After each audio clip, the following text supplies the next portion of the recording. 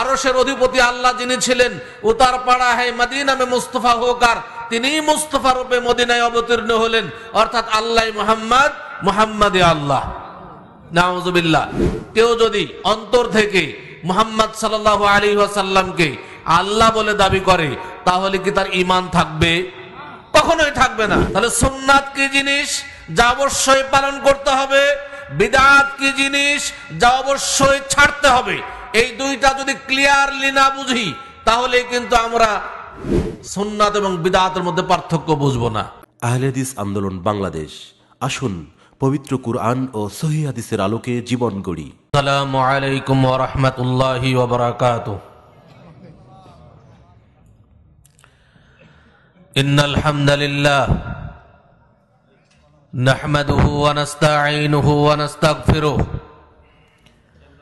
ونعوذ بالله من شرور أنفسنا ومن سيئات أعمالنا. من يهده الله فلا مضل له ومن يضلل فلا هادي له. وأشهد أن لا إله إلا الله وحده لا شريك له. وأشهد أن محمدا عبده ورسوله. يا أيها الذين آمنوا اتقوا الله حق تقاته ولا تموتن إلا وأنتم مسلمون. يا أيها الناس اتقوا ربكم الذي خلقكم من نفس واحدة وخلق منها زوجها وبث منهما رجالا كثيرا ونساء.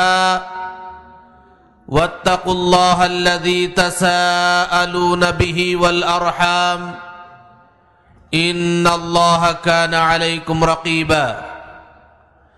يا أيها الذين آمنوا اتقوا الله وقولوا قولا سديدا. يصلح لكم أعمالكم. ويغفر لكم ذنوبكم ومن يطع الله ورسوله فقد فاز فوزا عظيما اما بعد সমস্ত প্রশংসা সে মহান রব্বুল আলমিনের জন্য যার অশেষ মেহরবানিতে আল মারকাজুল ইসলামী সালাফি কানসাট চাপাইরামগঞ্জ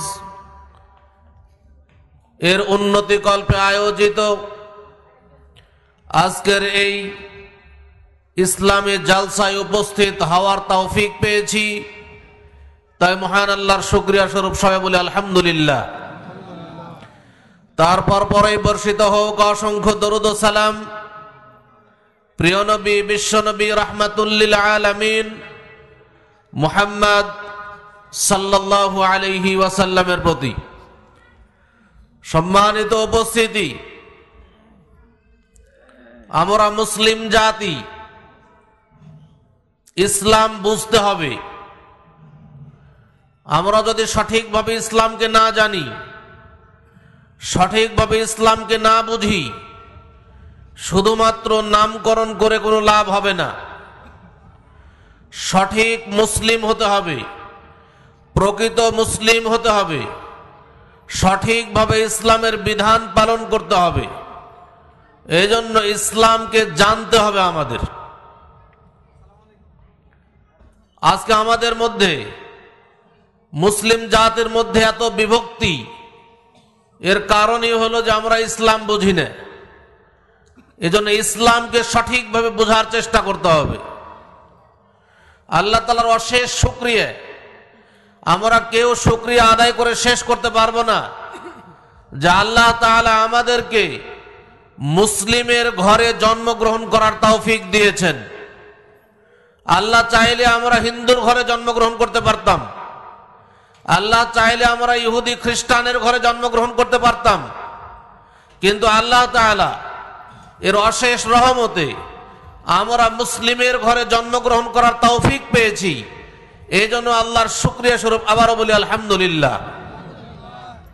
সম্মানিত উপস্থিতি, দুঃখের বিষয় হলো, বর্তমান জামানার মুসলিম, আমরা নামে মুসলিম হয়েছি, কিন্তু আমাদের কর্মকাণ্ডে প্রমাণ করে যা আমরা অমুসলিমদের মতোই। এজন্য আমাদেরকে প্রকৃত মুসলিম হওয়ার চেষ্টা করতে হবে। আল্লাহ তাআলা ঘোষণা দিয়েছেন মুসলিমুন।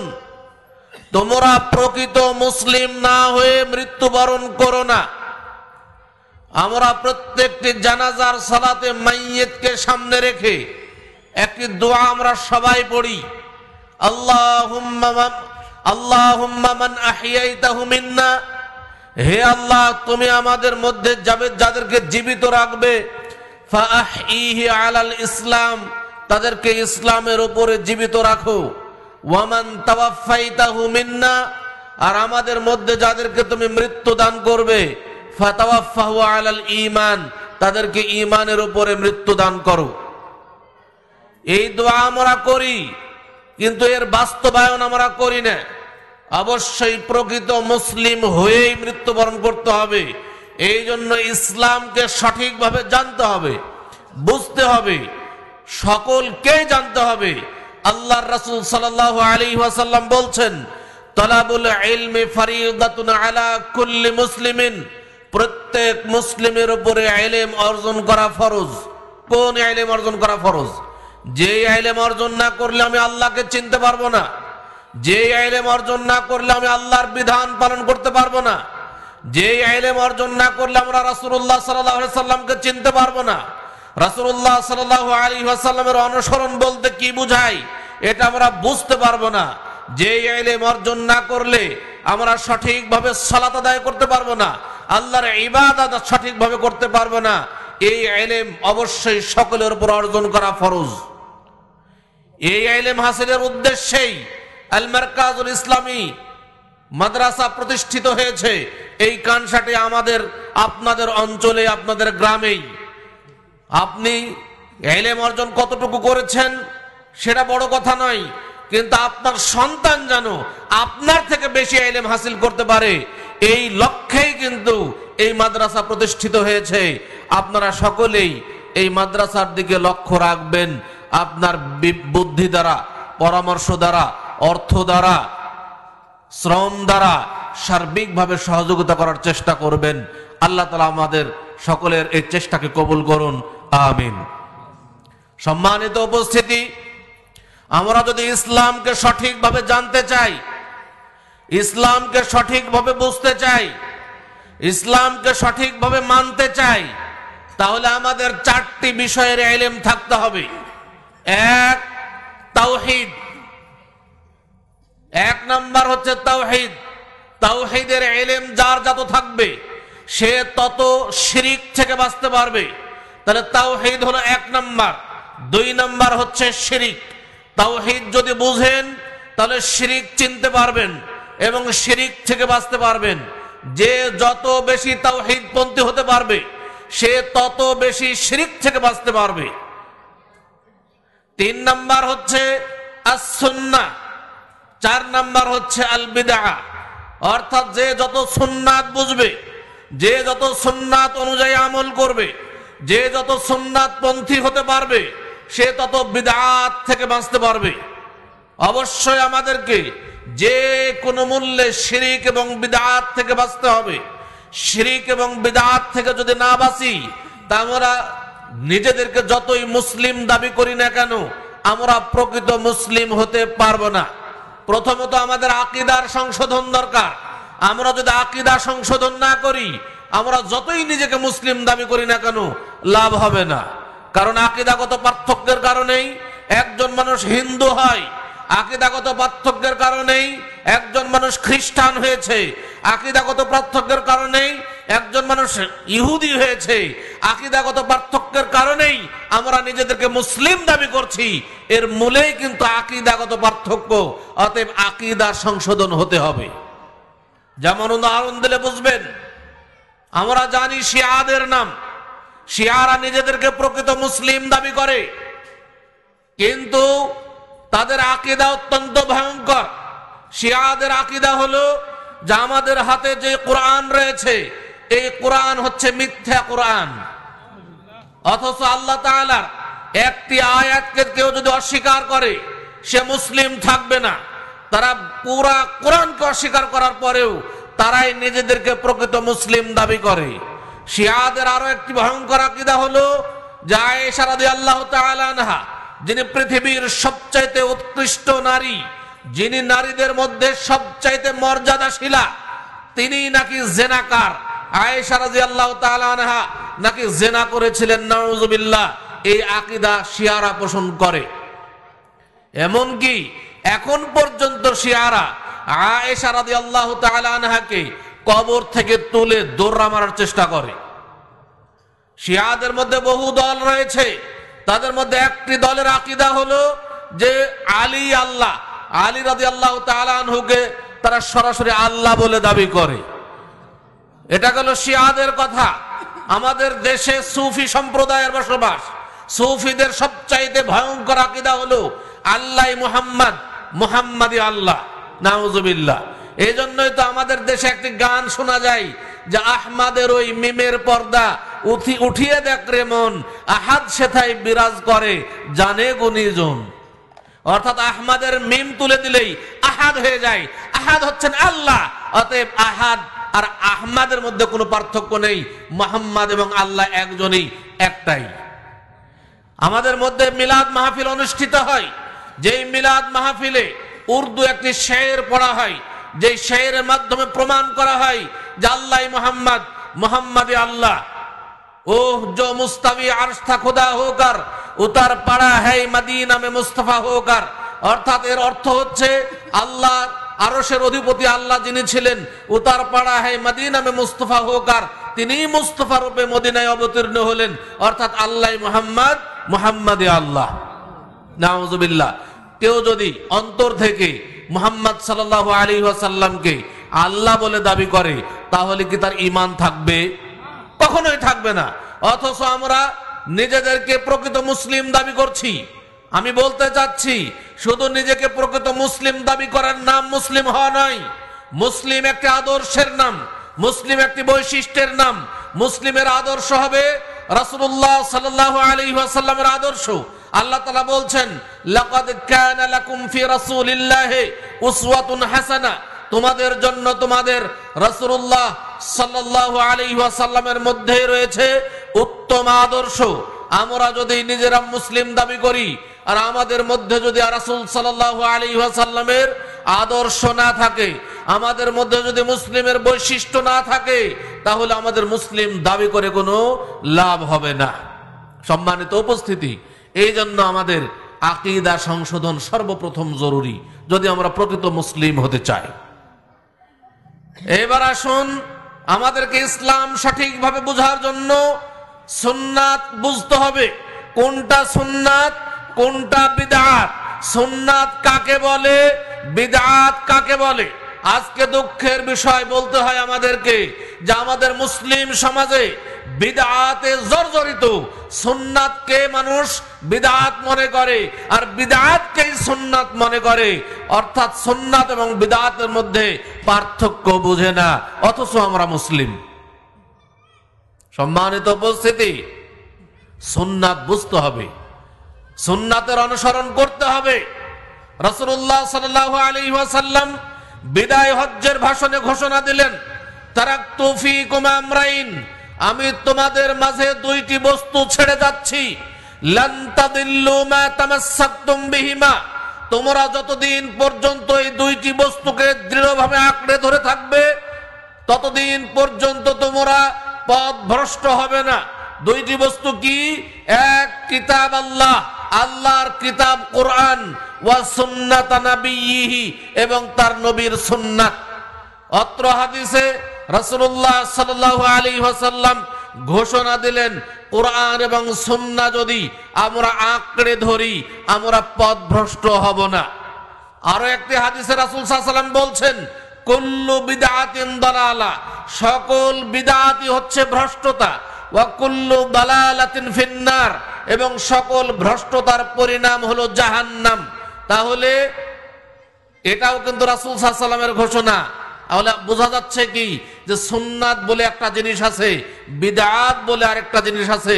সুন্নাতের অনুসরণ করলে আমরা পথভ্রষ্ট হব না, কিন্তু বিদাতের অনুসরণ করলে আমরা পথভ্রষ্ট হব জাহান নামে যাব।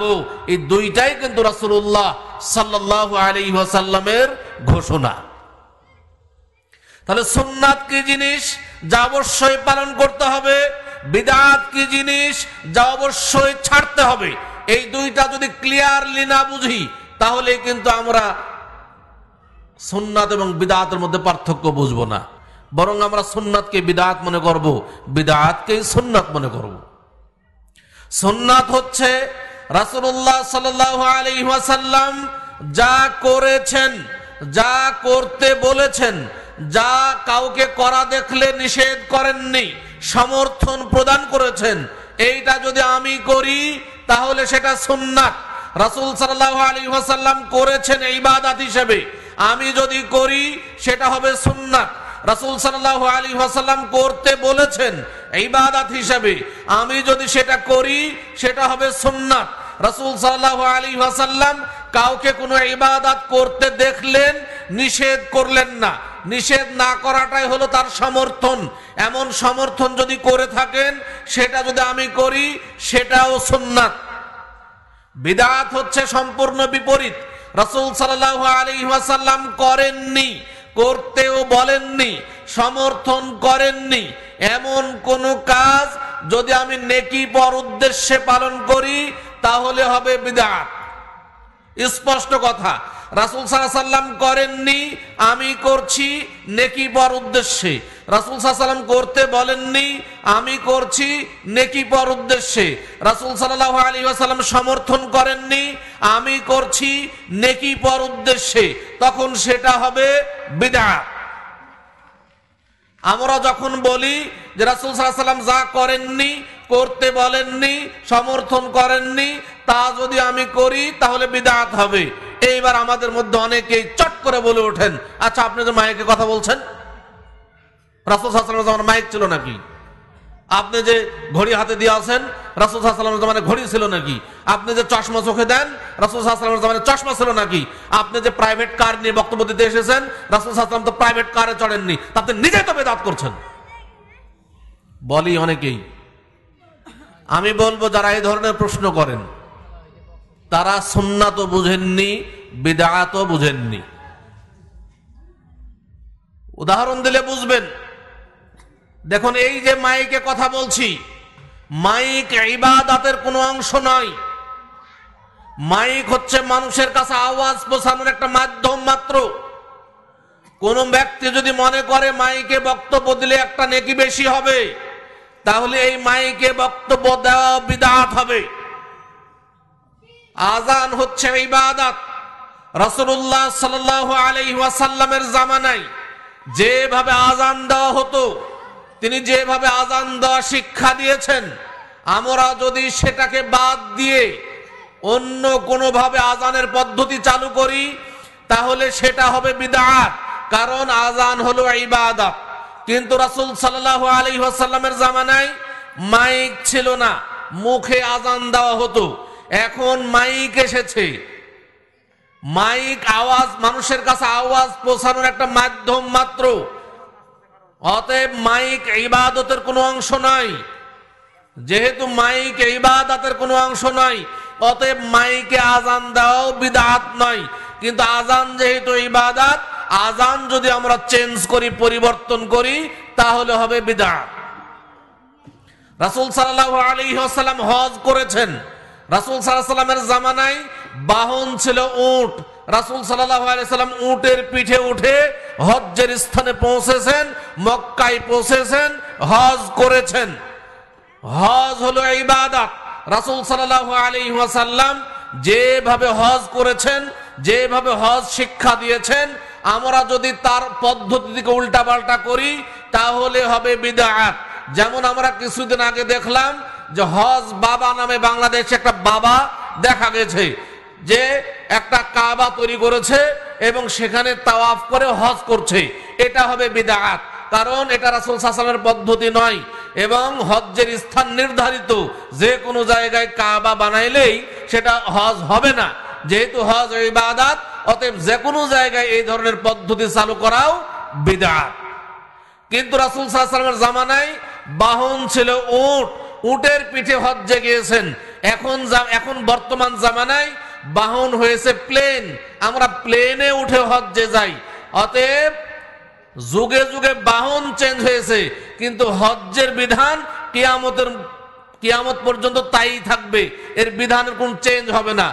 যদি কেউ চেঞ্জ করে, তাহলে হবে- বিধান কিন্তু যুগে যুগে বাহন চেঞ্জ হয়েছে, এখন প্লেন হয়েছে। ভবিষ্যতে আরও উন্নত মানের বাহন আসতে পারে। কিন্তু বাহন ইবাদতের স্থানে, হজ্জের স্থানে পৌঁছার একটা মাধ্যম মাত্র। অতএব বাহন ইবাদতের অংশ নয়, তাই বাহ- বাহন বিদাত হওয়ার কোনো প্রশ্নই আসে না। বর্তমানে যদি কোনো মানুষ মনে করে, রাসূলুল্লাহ সাল্লাল্লাহু আলাইহি ওয়াসাল্লাম উটের পিঠে হজ্জে গেছেন, আমিও উটের পিঠে উঠে হজ্জে যাব, তাহলে নেকি বেশি পাবো? তাহলে উটের পিঠে উঠে হজ্জে যাওয়া বিদাত হবে। কারণ রাসূলুল্লাহ সাল্লাল্লাহু আলাইহি ওয়াসাল্লাম উটের পিঠকে ইবাদত হিসেবে গ্রহণ করেননি। উটের পিঠকে তিনি বাহন হিসেবে গ্রহণ করেছেন। অতএব বাহনকে বাহনের জায়গায় রাখতে হবে, ইবাদতকে ইবাদতের স্থানে রাখতে হবে।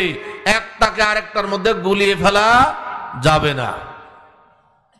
সম্মানিত উপস্থিতি, আমরা যখন এই ধরনের কথা বলি, তখন এক ধরনের ওলামা ইকরাম এবার বিভিন্নভাবে বক্তব্য দেন।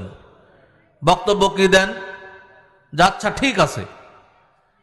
ভালো কাজ যদি যেই ভালো কাজ রাসুল সাল্লামের জামানায় ছিল না সাহাবাহিক রামের জামানায় ছিল না, এটাই যদি বিদাত হয়, যা আপনি যে কোরআন পড়ছেন, এই কোরআন তো রাসুল সাল্লামের জামানায় ছিল না এইভাবে কিতাব আকারে। রাসুল সাল্লামের জামানায় কিতাব আকারে ছিল না, বিভিন্ন জায়গায় লেখা ছিল। রাসুল সাল্লামের মৃত্যুর পরে এই কোরআন সংকলন হয়েছে, এক জায়গায় জমা হয়েছে। রাসুল সাল্লামের জামানায়। এখন যেমন আমরা দেখছি যে জের যাবার পেশ দেওয়া আছে কোরআনে। রাসুল সাল্লামের জামানায় কোনো জের যাবার পেশ দেওয়া ছিল না। রাসুল সাল্লামের মৃত্যুর পরে জের যাবার পেশ দেওয়া হয়েছে। এখন আমরা দেখছি কোরআনে বায়ের নিচে এক নোক্তা তায়ের ওপরে দুই নোক্তা, ছায়ের ওপরে তিন নোক্তা, জিমের পেটে এক নোক্তা। এই যে নোক্তাগুলো দেখছি, রাসুল সাল্লাহ আলী আসাল্লামের জামানায় কোন নোক্তা ছিল না। রাসুল সাল্লামের মৃত্যুর পরে এই নোক্তাগুলো দেওয়া হয়েছে। অতএব যেই কোরআন এভাবে সংকলিত ছিল না কিতাব আকারে, যেই কোরআনে জের যাবার পেশ ছিল না, যেই কোরআনে নোক্তা ছিল না, এখন সেগুলো করা হয়েছে সবগুলো। এমন কোরআনও তো তাহলে বিদাত, এই কোরআন পড়েন কেন?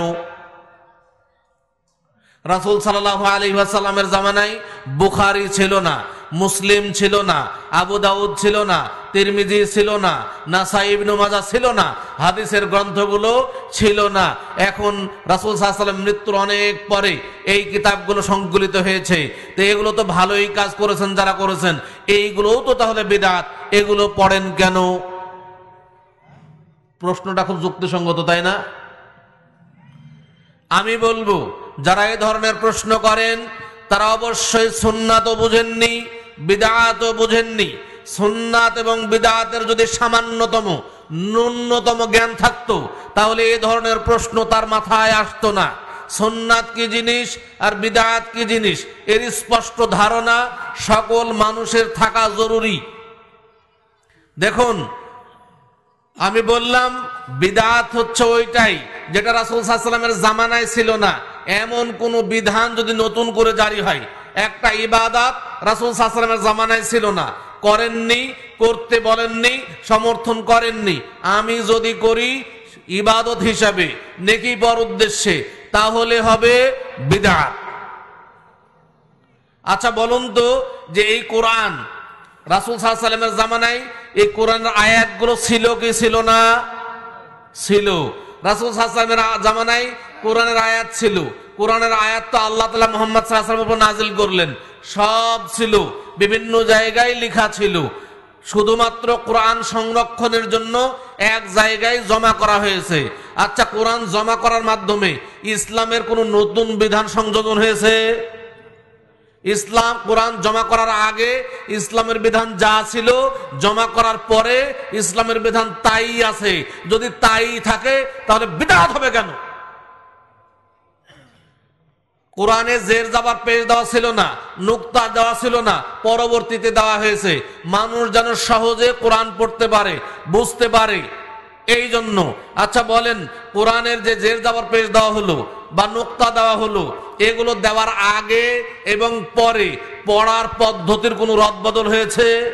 হয়নি। আগে জের যাবার পেশ দেওয়ার আগে, নুক্তা দেওয়ার আগে যেমন আলহামদুলিল্লাহ রাব্বিল আলামিন পড়া হতো, নুক্তা দেওয়ার পরে, জের যাবার দেওয়ার পরেও ঠিক তেমনই আলহামদুলিল্লাহ রাব্বিল আলামিনই পড়া হয়।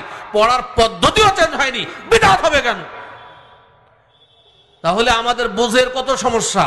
এগুলো বুঝে, বুঝায় মানুষকে উস্কানিমূলক বক্তব্য দিয়ে মানুষকে বিভ্রান্ত করার চেষ্টা করছি। আমরা বলছি রাসুল হাসানের জামানায় বুখারি ছিল না, মুসলিম ছিল না, আবু দাউদ, তিরমিজি না সাহেব মাজা ছিল না। এগুলো তো থাকবে কীভাবে? ইমাম বুখারি রাহমাহুল্লাহ জন্মগ্রহণ করলেন একশত চুরানব্বই হিজড়িতে। ছয়টা হাদিসের কিতাব ছয়টা ইমাম। তার মধ্যে সব চাইতে বড় ইমাম বয়সে বড় হলেন ইমাম বুখারি রাহেমাহুল্লাহ। ইমাম বুখারি রাহেমাহুল্লাহ জন্মগ্রহণ করলেন একশত চুরানব্বই হিজড়িতে আর মুহাম্মদ সাল্লাহ আলী হাসাল্লাম মৃত্যুবরণ করলেন এগারো হিজড়ির প্রথম দিকে। এগারো হিজড়ি কোথায় আর একশো চুরানব্বই হিজড়ি কোথায়? কত বছর পরে? রাসুল সাহসালামের অনেক বছর পরে ইমাম বুখারি রাহমাহুল্লাহ জন্মগ্রহণ করলেন। তারপরে জন্মগ্রহণ করেই তার ইমাম বুখারি হয়ে যাননি। জন্মগ্রহণ করলেন, বড় হলেন, লেখাপড়া করলেন, তারপরে না সহিউল বুখারি সংকলিত হলো। তাহলে ইমাম বুখারি কীভাবে থাকবে? বা সহিউল বুখারি কীভাবে থাকবে? কিন্তু সহিউল বুখারিতে যেই হাদিসগুলো সংকলিত হয়েছে, এই হাদিসগুলো কার হাদিস? রাসূলুল্লাহ সাল্লাল্লাহু আলাইহি সাল্লামের হাদিস। রাসূল সাল্লামের হাদিস আগে থেকে ছিল কি ছিল না? সব হাদিসই ছিল।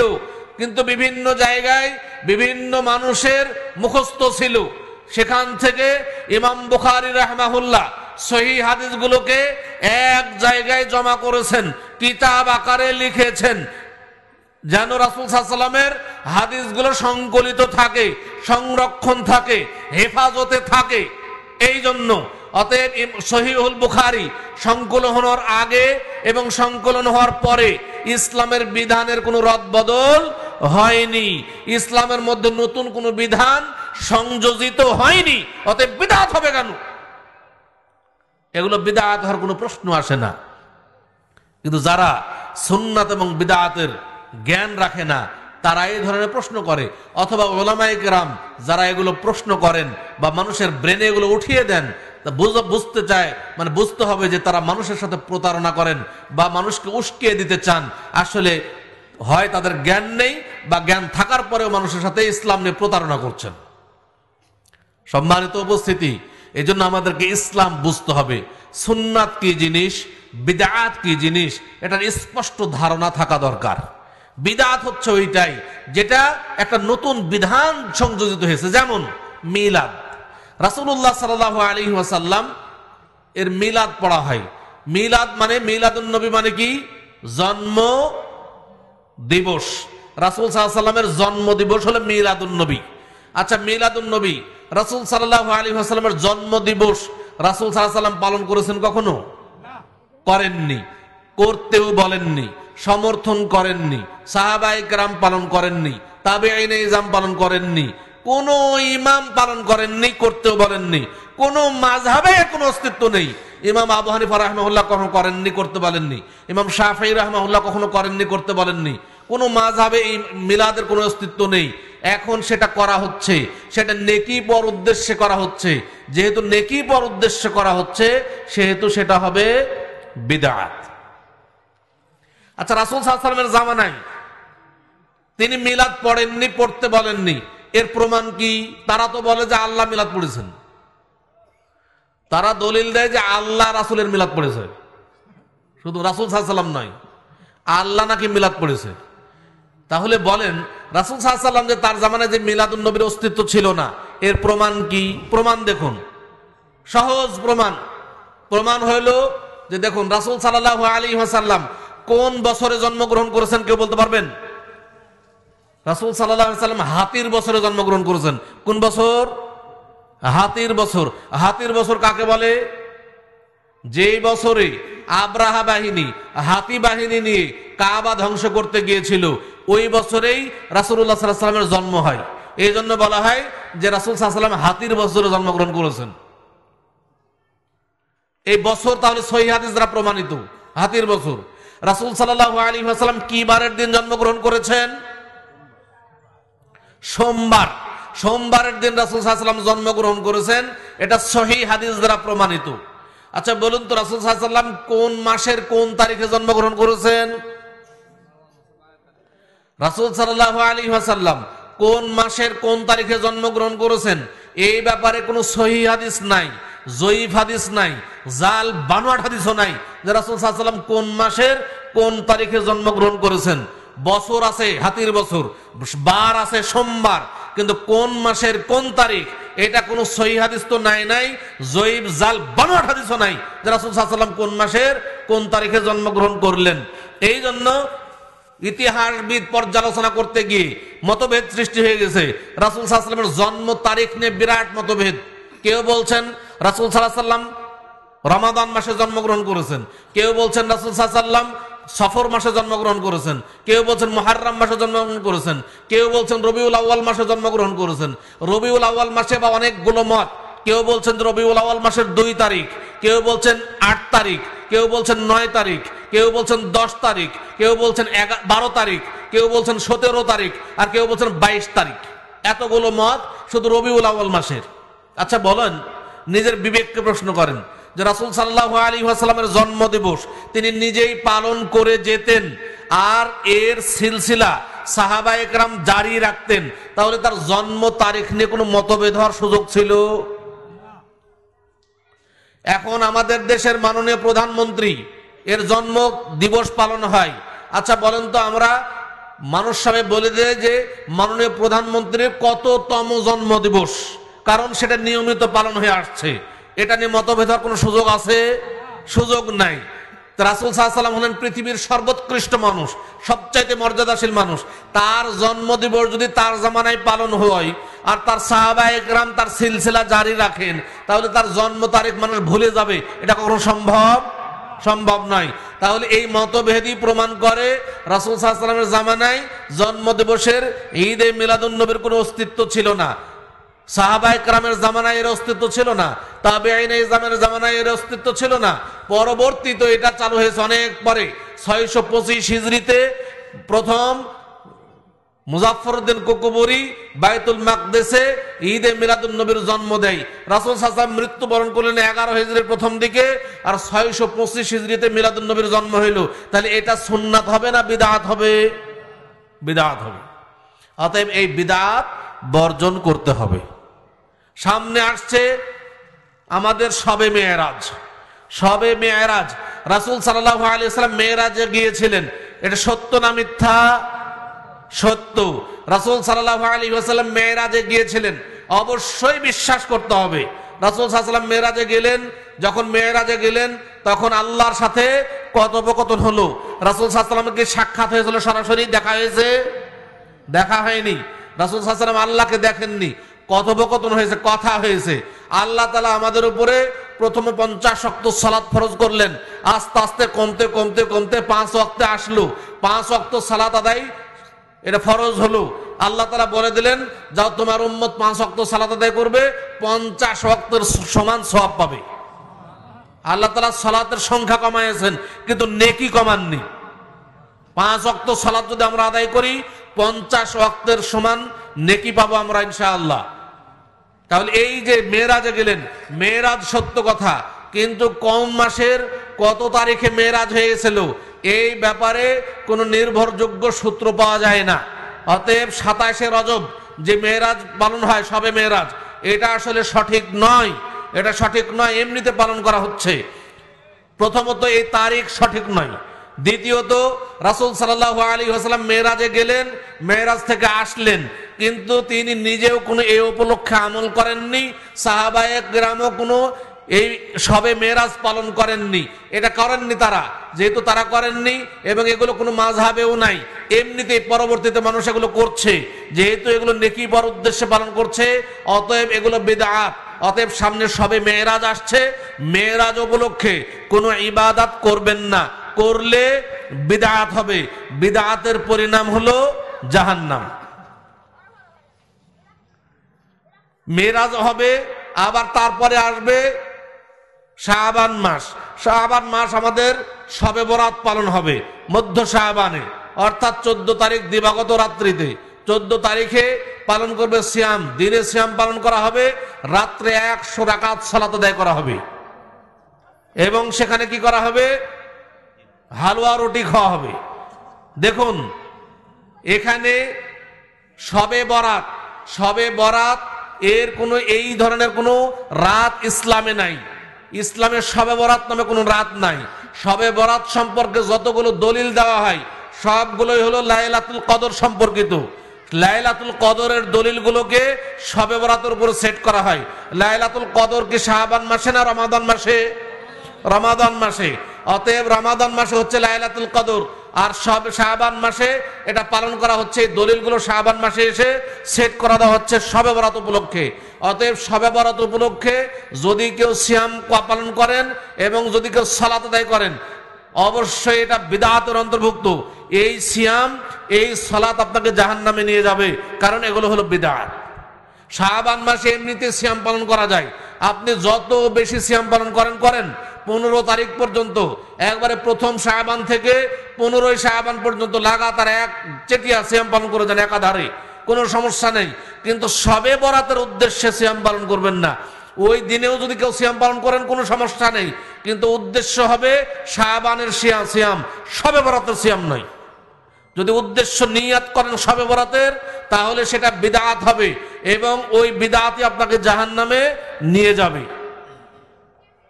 সম্মানিত উপস্থিতি, এই বিষয়গুলো আমাদের খুব লক্ষ্য রাখতে হবে। কোনো অবস্থাতেই যেন আমাদের দ্বারা কোনো বেদাত সংগঠিত না হয়। এটা অবশ্যই খুব জোরালোভাবে স্মরণ রাখতে হবে। বিদাত থেকে অবশ্যই বাঁচতে হবে। এখন আমাদের মধ্যে আবার অনেকেই, আমাদের মধ্যে অনেকেই প্রশ্ন করেন যে আচ্ছা ঠিক আছে মিলাদ পড়া হয়, সবে বরাত পালন করা হয়, সবে মেয়ারাজ পালন করা হয়। এগুলো থেকে আমরা খারাপ কোনো কাজ করি, আমরা তো ভালোই কাজ করি। সমস্যাটা কি? আমরা তো এগুলো খারাপ কাজ করছি না, ভালো কাজই করছি। সমস্যাটা কোন জায়গায়? দেখুন, ভালো আর মন্দ যাচাই করতে হবে ইসলামী শরিয়াতের মানদণ্ডে। নিজের বিবেকের মানদণ্ডে নয় ইসলামী শরিয়াত যাকে অনুমোদন দিয়েছেন, সেটাই হচ্ছে ভালো। ইসলামী শরিয়াত যাকে অনুমোদন দেয়নি, সেটা আমি আপনি যতই ভালো মনে করি না কেন, সেটা ভালো নয়। অবশ্যই ইসলাম শরিয়াত মনোনয়ন দিয়েছে কিনা, সেটা আমাদের দেখতে হবে। যেমন উদাহরণস্বরূপ বলতে পারি, আপনার কাছে যদি একটি পাঁচশো টাকার নোট থাকে, সেই নোটটা যদি বহু পুরাতন নোট হয় যেই নোটটি পুরাতন হয়ে গেছে, ময়লা হয়ে গেছে, সাইড সুইড ছিঁড়েও গেছে, কিন্তু যদি সেই টাকাটি নিয়ে আপনি দোকানে যান, দোকানদারকে দেন, দিয়ে বলেন যে আমাকে পাঁচশো টাকার সদাই দিন, তাহলে আপনাকে দিবে। কেন দিবে? কারণ ওই পাঁচশো টাকার নোট যদিও পুরাতন হয়ে গেছে, কিন্তু পুরাতন হলে কি হবে? এই পাঁচশো টাকার নোট বাংলাদেশ সরকার কর্তৃক অনুমোদিত পাঁচশো টাকার নোট। অতএব এটা নকল নয়, আসল টাকা তাই আপনাকে দিবে। কিন্তু আপনি যদি একটি পাঁচশো টাকার নোট তৈরি করেন, অনেক দামি কাগজ দিয়ে সুন্দর রংচং করে, চকচকে করে একটা পাঁচশো টাকার নোট তৈরি করলেন, এইবার যদি আপনি দোকানে নিয়ে যান দোকানে নিয়ে গিয়ে বললেন যে, দোকানদার সাহেব, আমাকে পাঁচশো টাকার সদাই দেন, আপনাকে দিবে না। বরং সে যদি বুঝতে পারে যে, নকল টাকা, আর দোকানদার যদি একটু টেড়া হয়, পুলিশকে কল লাগাবে। কল করে বলবে যে, একটি নকল টাকা টাকা জালকারি ধরা পড়েছে আপনি নিয়ে যান। পুলিশ এসে আপনার হাতে হ্যান্ডকাপ লাগিয়ে আপনাকে জেলখানাতে প্রবেশ করাবে। কেন? যা আপনার হাতে যদিও চকচক করছে টাকাটি, কিন্তু আপনি হলেন টাকা জালকারী। অনুরূপভাবে আপনি যে ইবাদত করবেন, ইবাদতের বিনিময়ে আল্লাহ তালা তার জন্য জান্নাত নির্ধারণ করে রেখেছেন। তাকে আল্লাহ তালা ওই ইবাদতের বিনিময়ে জান্নাত দিবেন। যে ইবাদাত কোরআন এবং সহিহাদের স্বীকৃত ইবাদাত। কোরআন এবং সহিহাদের স্বীকৃত ইবাদত না হলে সেই ইবাদতের বিনিময়ে আল্লাহ আপনাকে জান্নাত তো দিবেনই না, বরং এই ইবাদতের বিনিময়ে আপনাকে আল্লাহ তালা জাহান নামে প্রবেশ করাবেন। কারণ আপনি হলেন আল্লাহর কাছে ইবাদত জালকারী। সম্মানিত উপস্থিতি, এজন্য ইবাদাত হলেই হবে না। ইবাদাত আমার, আপনার নিকটে যাই মনে হোক না কেন, ইসলামী শরিয়াতের মানদণ্ডে যাচাই করতে হবে যে ইসলামী শরিয়াত এই আমলটির, এই ইবাদাতটির অনুমোদন দিয়েছে কি দেয়নি? দিলে কোন পদ্ধতির অনুমোদন দিয়েছে আর কোন পদ্ধতির অনুমোদন দেয়নি? এটা দেখে ইবাদাত করতে হবে। না হলে ওই ইবাদাত কাজে লাগবে না। যেমন এই জন্যই তো আলী ইবনে আবি তালেব রাদি আল্লাহ আনহু তিনি স্পষ্ট ভাষায় বলে দিয়েছেন যদি দিন ইসলাম মানুষের বিবেক দ্বারা পরিচালিত হতো আউলা তাহলে মোজার উপরে ভাগ মাসা করার চাইতে মোজার নিচের ভাগ মাসা করাই মানুষের বিবেক প্রাধান্য দিত। আমরা যে মোজা পরি পাই মোজা পরেন তো আপনারা? আচ্ছা বলেন তো মোজার মাসা যখন করবেন মোজাতে, মোজার উপরে উপরে করতে হয় না নিচে? উপরে করতে হয়। তা আলিম নামে তালেব রাজা বলছেন, যদি দিন ইসলাম মানুষের বিবেক দ্বারা পরিচালিত হইতো তাহলে মোজার উপরিভাগ মাসা করার চাইতে নিচের ভাগ মাসা করাটাই মানুষের বিবেক প্রাধান্য দিত। কারণ কি? যে ময়লা লাগলে নিচের ভাগে লাগলে, মাসা করলে নিচের ভাগে লাগ, করব। উপরে ভাগে কেন? কিন্তু বলছেন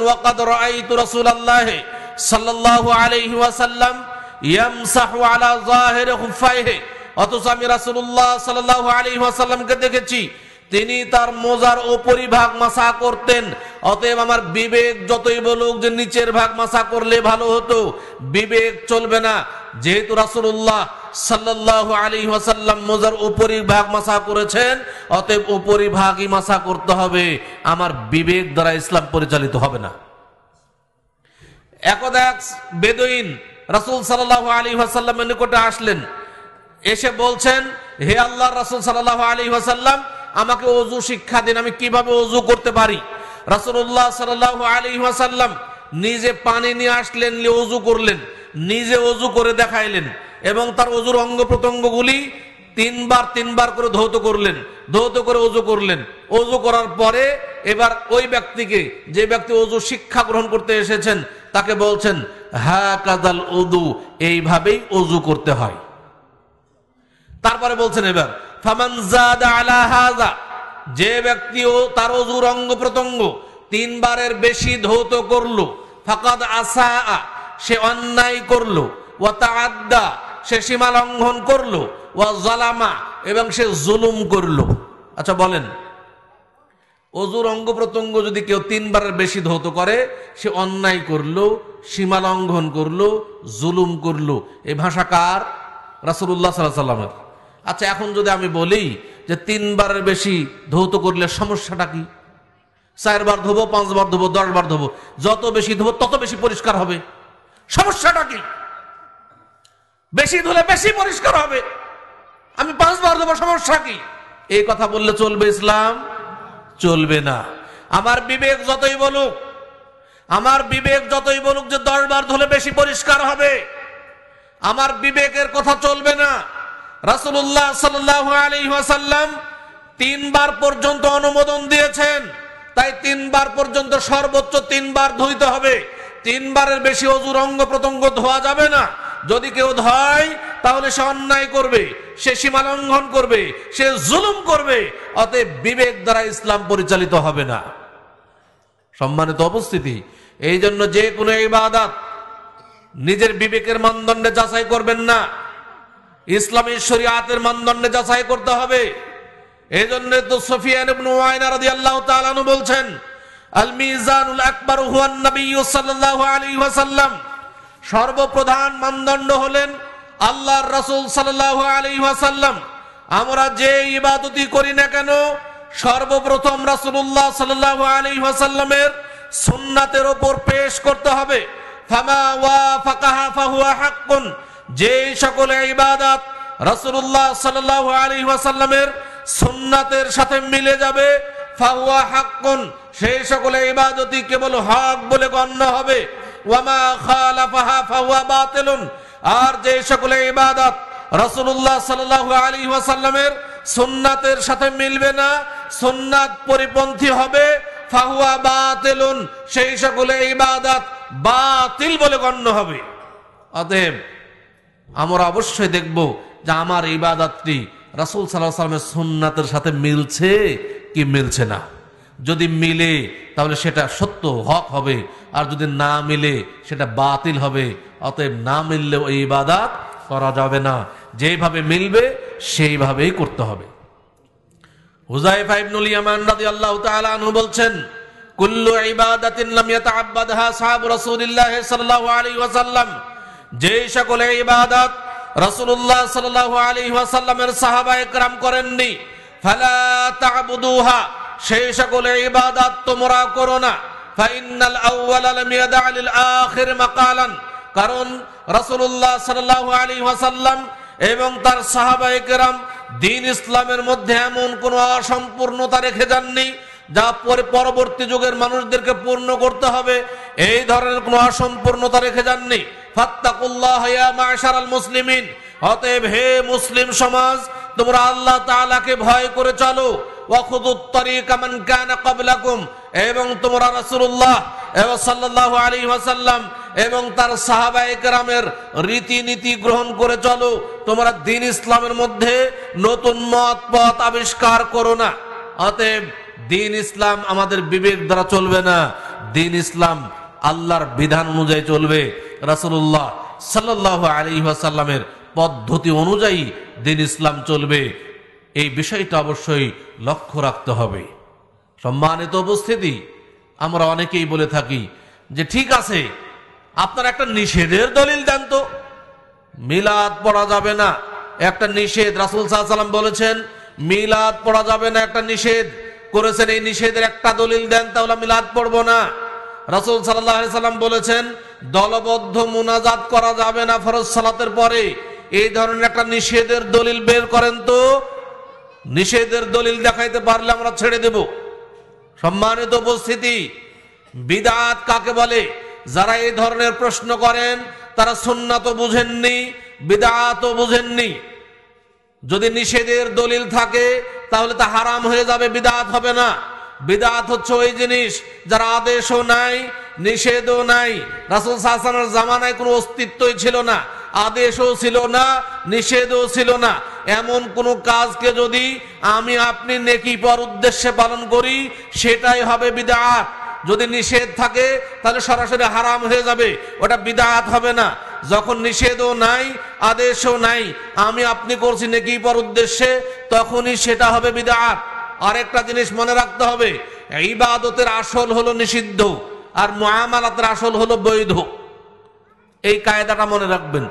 ইবাদতের আসল হলো নিষিদ্ধ, অর্থাৎ ততক্ষণ পর্যন্ত ইবাদত করা নিষিদ্ধ, যতক্ষণ পর্যন্ত ওই ইবাদাতের বৈধতার দলিল না পাওয়া যায়, যতক্ষণ পর্যন্ত ওই ইবাদাতের পক্ষে বৈধতার দলিল না পাওয়া যাবে। ততক্ষণ পর্যন্ত কোনো ইবাদত করা যাবে না। আপনি যে ইবাদত করছেন, সেই ইবাদতের পক্ষে দলিল খাড়া করতে হবে। দলিল পাচ্ছেন না মানে নিষিদ্ধ। দলিল না থাকাটা নিষিদ্ধ। আলাদা করে নিষেধের কোনো দলিল লাগবে না। আমাদের এগুলো বুঝতে হবে। আমাদের বর্তমান, আমাদের সবচাইতে দুঃখের বিষয় লাগে। যে আমরা আহলে হাদিস জামাতো এখন পর্যন্ত দলবদ্ধ মোনাজাত নিয়ে পড়ে আছে। এক আশ্চর্য ব্যাপার। আমার কাছে এই বিষয়টা আমার বিরাট প্রশ্ন জাগে আমার মনে যে আমরা আহলে হাদিস জামাতি এখন পর্যন্ত দলবদ্ধ মোনাজাত করব কি করব না? এই প্রশ্নের জবাব বের করতে পারলাম না। কিসের আহলে হাদিস আমরা? সম্মানিত উপস্থিতি, রাসূল সাল্লাল্লাহু আলাইহি ওয়াসাল্লামের জামানায় দোয়া কীভাবে হয়েছে? দোয়া রাসুল সাল্লাল্লাহু বলছেন দোয়া হুয়াল ইবাদা।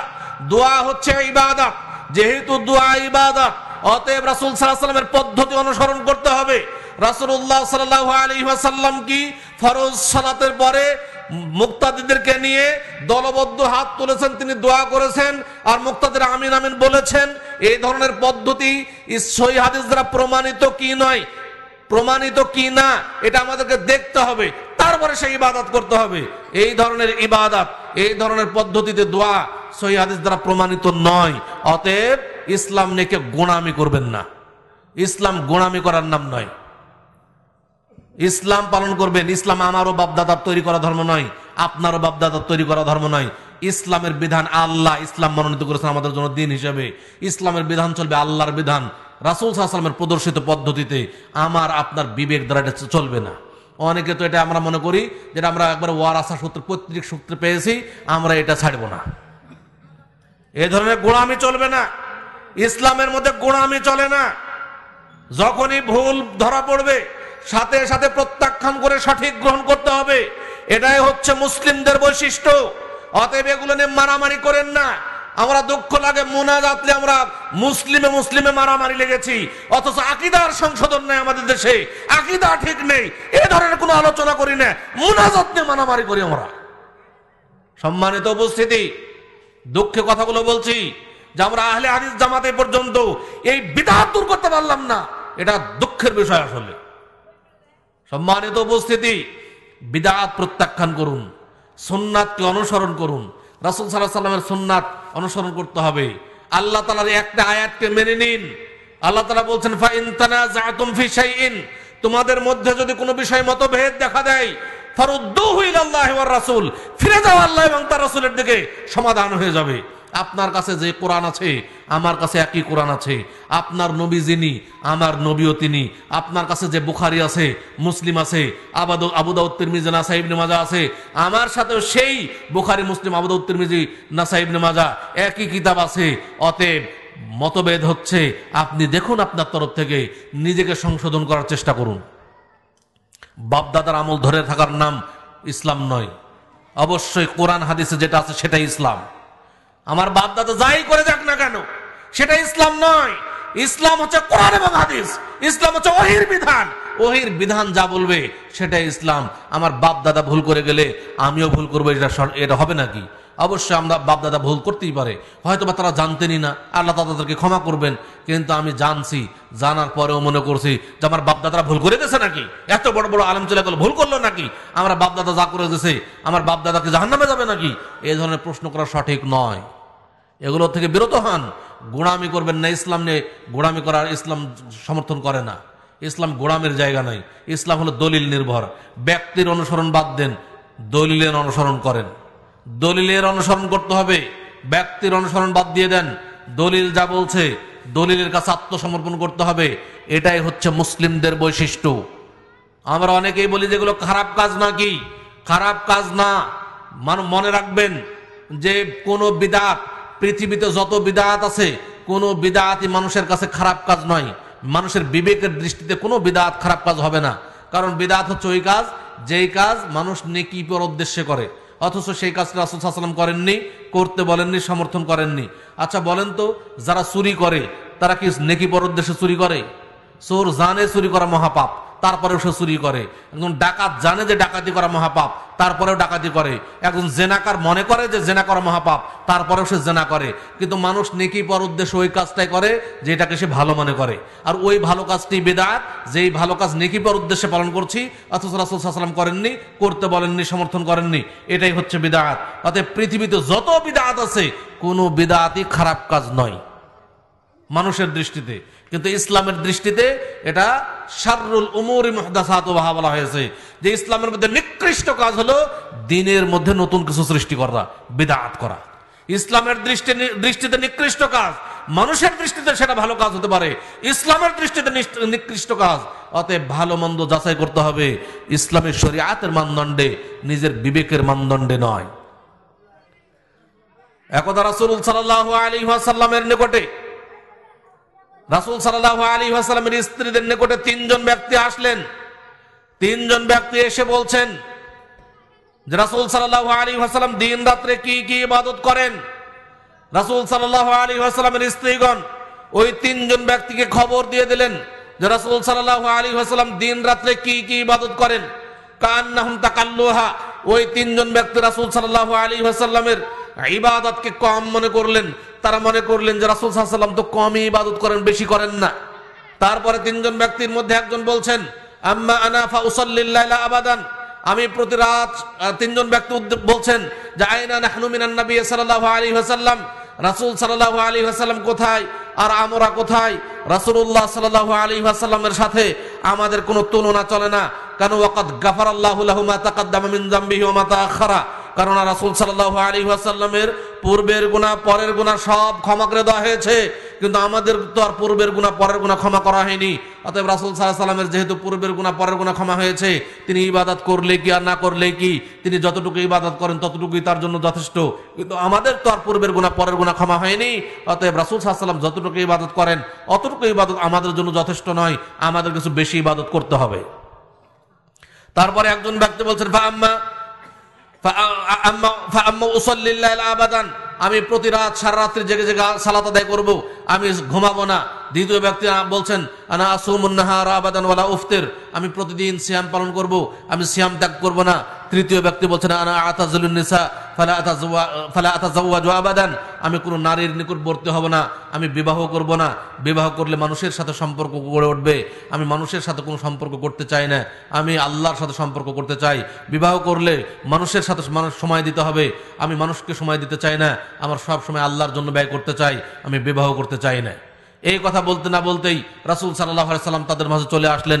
এসেই বলছেন, আনতুমুল্লাযিনা কুলতুম কাযা ওয়া কাযা? তোমরা কি সেই তিনজন ব্যক্তি যাদের একজন বলেছ, আমি প্রতি রাত সারা রাত্রি জেগে জেগে সালাত আদায় করব আরেকজন বলেছ, আমি প্রতিদিন শ্যাম পালন করব আরেকজন বলেছ, আমি প্রতি আমি বিবাহ করব না, আমি আল্লাহর সাথে আল্লাহর ইবাদত করে যাব, আমি কোনো বিবাহ শাদী করব না তোমরা কি সেই তিনজন ব্যক্তি? তারপরে তিনি হরফে তাম্বিহ ব্যবহার করছেন। আলা, তোমরা সাবধান থেকো। আল্লাহ আল্লাহর কসম করে বলছি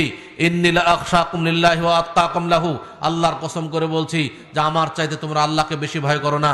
আমি তোমাদের চাইতে আল্লাহকে বেশি ভয় করি। আমার চাইতে তোমরা বেশি পরহেজগার নও। আমি তোমাদের চাইতে বেশি পরহেজগার। লাক ইন্নি আমি এত আল্লাহকে বেশি ভয় করি। এত ভয় করা সত্ত্বেও আস- আসুম ওয়া উফতের, আমি প্রতিদিন শ্যাম পালন করি না। কোনো কোনো দিন শ্যাম পালন করি, আবার কোনো কোনো দিন ছেড়ে দেই। ওয়া উসাল্লি ওয়া আরকুদ, আমি সারা রাত্রি জেগে জেগেও সালাত আদায় করি না। রাত্রে কিছু অংশ সালাত আদায় করি, আবার কিছু অংশ ঘুমাই। ওয়া আতাজাওয়াজুন নিসা, এবং আমি বিবাহ করেছি। আমার স্ত্রী রয়েছে। তারপরে তিনি বলছেন, ফামান রাকিবা আন সুন্নতি সামেননি জেনে রেখো যে আমার সুন্নাত পরিপন্থী আমল করবে, সে আমার উন্মতের অন্তর্ভুক্ত নয়। এই হাদিসে তিনজন ব্যক্তির উদ্দেশ্য কারোই খারাপ ছিল না। একজন সালাত আদায় করবে, একজন সিয়াম পালন করবে, একজন বিবাহ করবে না। তিনজনের উদ্দেশ্য খুব ভালো ছিল। কিন্তু রাসুল সাল্লাহ আলী আসাল্লাম তিনজনকে কঠোর বাণী উচ্চারণ করলেন। রাসুল সাল্লাহ সাল্লাম এই হাদিসে, কোনো জেনাকারকে বললেন না, তুমি আমার উম্মত থেকে বহিষ্কৃত। কোনো ডাকাতকে বলছেন না, তুমি আমার উম্মত থেকে বহিষ্কৃত। কোনো চোরকে বললেন না, তুমি আমার উম্মত থেকে বহিষ্কৃত। অত্র হাদিসে রাসুল্লাহ সাল্লাহ সাল্লাম একজন বেশি বেশি ইবাদতকারীকে বলছেন, তুমি আমার উম্মত থেকে বহিষ্কৃত। যে ব্যক্তি বেশি বেশি ইবাদত করতে চাচ্ছেন, তাকে বলছেন, তুমি আমার উম্মত থেকে বহিষ্কৃত। যদি তোমার ইবাদত আমার সুন্নাত অনুযায়ী না হয়। অতএব ইসলাম নিয়ে গোড়ামি করবেন না। সুন্নাত অনুযায়ী ইবাদত করার চেষ্টা করুন। রাসুল সাল্লাম যে ইবাদত, যে পদ্ধতিতে করেছেন, ঠিক সেই পদ্ধতিতে ইবাদত করার চেষ্টা করতে হবে আমাদের সকলকেই। এখানে মারামারি করার কোনো জায়গা নাই। মারামারি করা জায়গা না এগুলো। আমরা মসজিদে কেন মারামারি লাগছি? একটা মাসালা নিয়ে কেন আমরা ভাই ভাই মারামারি করি? মারামারি করা তো ঠিক নয়, এটা তো হারাম কাজ। আমি আমার দাওয়াত পৌঁছিয়ে দেব আপনাদের কাছে। মানা না মানা আপনার দায়িত্ব। কিন্তু আপনার সাথে আমার কোনো রাগ নেই হিংসা নেই বিদ্বেষ নেই শত্রুতা নেই কিছু নেই। আপনার কাছে দাওয়াত পৌঁছিয়ে দিয়ে গেলাম। মানবেন কি মানবেন না সেটা আপনার ইখতিয়ার মানলে আপনার ভালো না মানলে আপনার হিসাব আপনি দিবেন। আপনার হিসাব আমাকে দিতে হবে না। মসজিদে মারামারি লাগবেন না। সর্বোপরি শুধুমাত্র পৌঁছায় দেবেন দাওয়াত। মানা না মানা সবার নিজের দায়িত্ব। আচ্ছা বলেন তো মসজিদে কেউ কাউকে সালাত আদায় করতে বাধা দিতে পারে? মসজিদে আল্লাহর ঘর। একজন বিদাতি ধরেন, একজন কবরে সিজদা করে। তাকেও কি আপনি মসজিদে যদি সে সালাত আদায় করে, তাকে বলতে পারবেন যাই তুমি মসজিদে সালাত আদায় করো না? কথা বলার কোনো সুযোগ নাই। অথচ দুঃখের বিষয় হলো যে আমরা মোনাজাত করবে একদল আর মোনাজাত করবে না একদল এই নিয়ে আমরা মসজিদ ভাগাভাগি করি। জোরে আমিন বলব কি ধীরে আমিন বলব এই নিয়ে মসজিদ ভাগাভাগি, এটা সঠিক নয় আমরা ভাই ভাই হিসেবে বসবাস করব। একজন আরেকজনের সহযোগিতা করার চেষ্টা করব। মাস আলাগতভাবে কারও যদি ভুল থাকে, সুন্দর ভাষায়, সহজভাবে তাকে বলে দেওয়ার চেষ্টা করব।